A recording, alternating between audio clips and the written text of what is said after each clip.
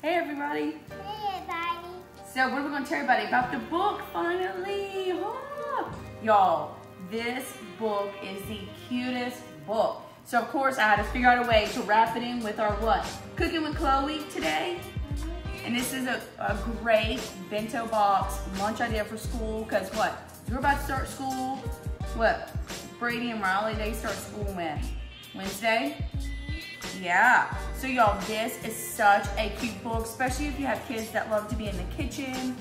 Or even if not, this will get them excited about making their own homemade pizza. The illustration, everything is so cute. So yeah, so I'm definitely gonna be sharing the link to this and everything for y'all in the blog post because this is a must-have book, huh? You think so? You love reading this book, huh? All right, now let's tell them about what we put together in your bento box. Say Chloe's super excited about starting what? What are you starting? You tell everybody what you're doing this year? What, what, what are you doing? Kindergarten. Kindergarten. Huh. So this is an easy bento box, even for little hands like Chloe, and let's tell them what we have in it. So what we'll have, along with the bento box, we'll have a paper towel for her to unwrap to be able to make her own mini bagel what? Pizza! Oh.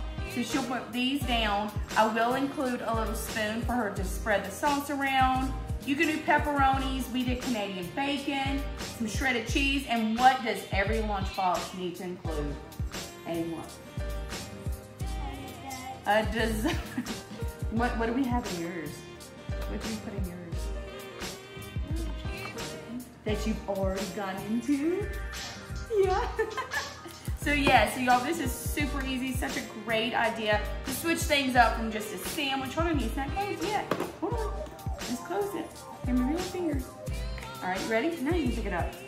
So yeah, so check out how you can make your own mini bagel pizzas for school lunches. And you can open it. Oh yeah, she's gonna do y'all tutorial. Yeah. And what? When you open it up,